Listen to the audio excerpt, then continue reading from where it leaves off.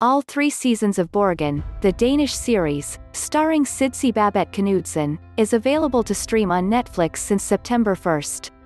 This absorbing political drama has drawn many fans since and was a hit in Denmark upon its release 10 years ago. Now is your chance to watch all three seasons of this smart series before new episodes are released on the streaming platform. Created by Adam Price, the series follows the ascent of Birgitte Nyborg, Sidse Babett Knudsen, who becomes the first female Prime Minister of Denmark. Easy comparisons could be made to The West Wing or House of Cards, but the Danish show has nothing to envy from these popular American political dramas. Stephen King, after all, did name Borgen the best television he watched in 2012. If you've never before seen the series, much of the action of the series takes place within the Christiansborg Palace, also nicknamed Borgen, where Denmark's parliament, prime minister's office and supreme court are housed.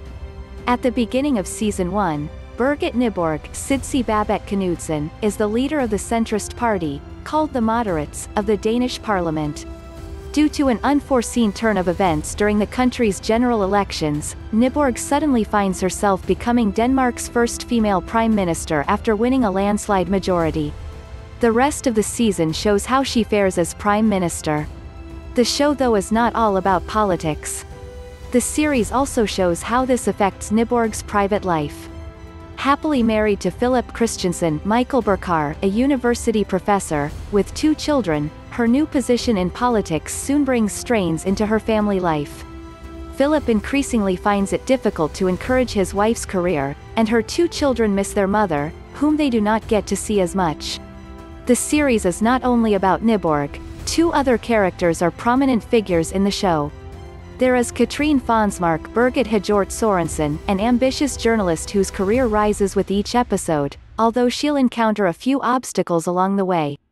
Linking these two women is Casper Juel, Pilou Asbæk, Birgitte's spin doctor and Katrine's ex. Casper is great at his job, but he is clearly not over his past relationship with Katrine.